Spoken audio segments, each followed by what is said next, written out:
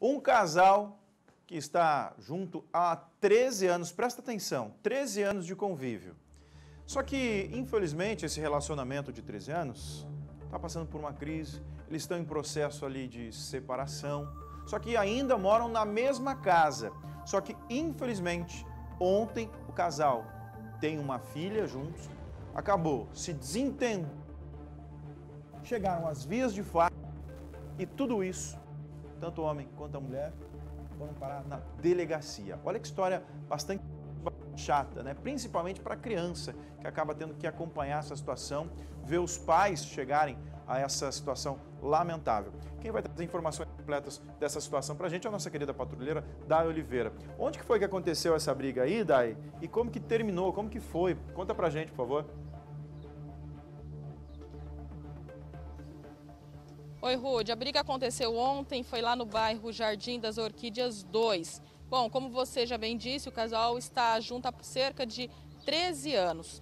Desta relação, né, deste tempo, nasceram duas meninas, uma de 11 e uma de 3. A menina de 11 anos presenciou o momento da briga ontem. Segundo consta no boletim de ocorrência, a mulher que levou um tapa no rosto ontem, já está tentando a separação há cerca de três meses, pedindo para que o esposo, o agressor, saia de casa. Bom, a discussão ontem foi por conta da agressividade do autor, como a vítima bem disse a polícia e consta no boletim de ocorrência.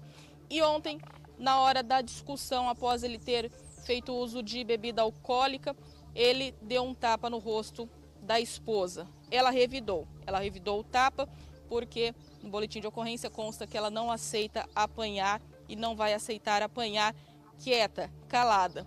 Ela pediu novamente ao esposo, o autor da agressão, que saia de casa e entrou com esta medida protetiva porque ela está temerosa em relação à sua integridade e também das filhas.